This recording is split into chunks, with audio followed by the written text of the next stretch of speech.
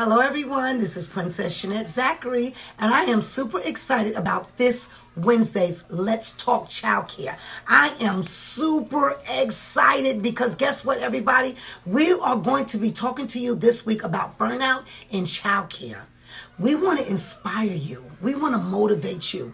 We want to sit around the round table and just talk. Let's talk childcare.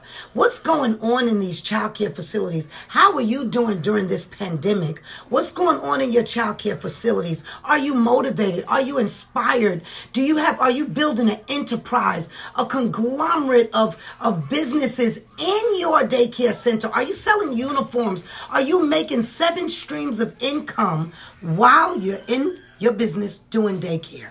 Because you're not just doing daycare, it's a business. So, what other streams of income are you making? Are you selling uniforms? Are you selling food? There's so many